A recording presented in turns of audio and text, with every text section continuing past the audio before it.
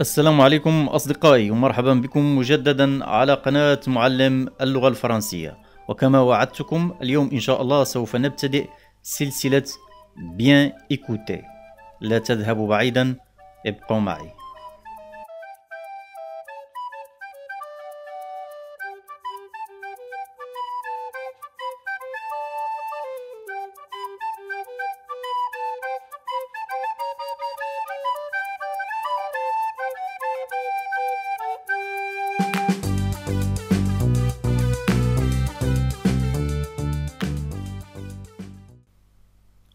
وكما سبق وأخبرتكم سلسلة بيان إيكوتي تعتمد على السمع سأبدأ في القراءة.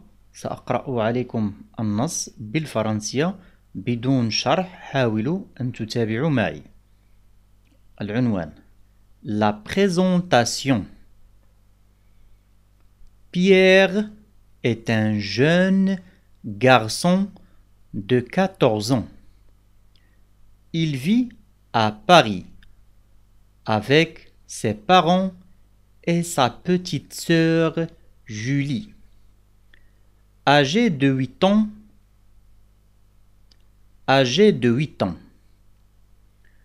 Toute la petite famille habite dans un grand appartement au troisième étage d'un immeuble situé près de la tour Eiffel.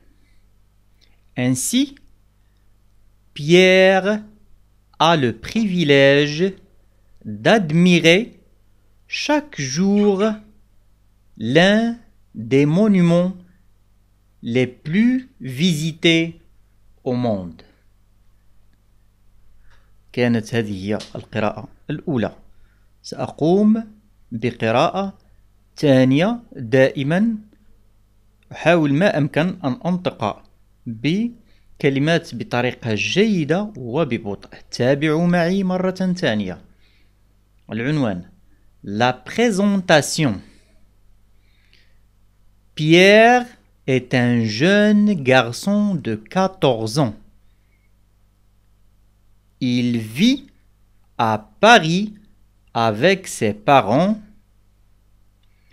et sa petite sœur Julie, âgée de 8 ans. Toute la petite famille habite dans un grand appartement au troisième étage d'un immeuble situé près de la tour Eiffel. Ainsi, Pierre a le privilège d'admirer chaque jour l'un des monuments les plus visités au monde. نعم كانت هذه هي القراءة الثانية لنص اليوم كما أخبرتكم إن استطعتم حاولوا فقط الإجابة على الأسئلة التي سأطرحها عليكم حالا من خلال السمع. إن لم تستطيعوا رابط هذه الفقرة أو هذا النص موجود في أول تعليق تحت هذا الفيديو. اضغط على ذلك الرابط وسوف الرابط وسوف تتوجهون مباشرة إلى موقع معلم اللغة الفرنسية وسوف تقرؤون النص مباشرة وتستطيعون الإجابة. أنا أحاول ما أمكن أن أقرأ ببطء. من كان لديه المستوى أن يجيب فقط من السمع فليفعل ذلك. المهم أنتم من يعرفون مستواكم. إن لم تتوصل لذلك تذهب إلى الرابط وتضغط وسيحولك مباشرة إلى النص. تقرأ النص وبعد ذلك تجيب على هذه الأسئلة. جيد.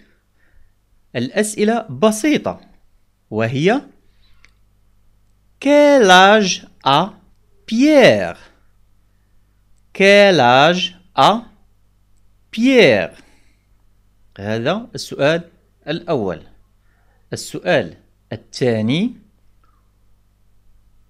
Où vit Pierre et sa famille Où vit Pierre et sa famille هذا هو السؤال الثاني السؤال الثالث هو Quel est le monument que Pierre voit tous les jours Quel est le monument que Pierre voit tous les jours.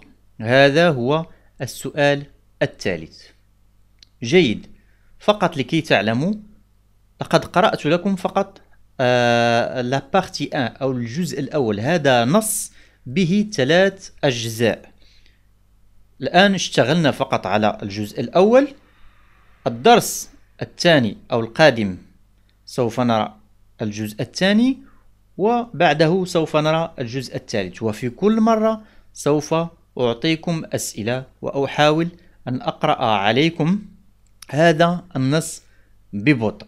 يعني هذه هي أول مرة نتعامل بهذه الطريقة. لديكم تجربة في الماضي في سلسلة جملة كل يوم.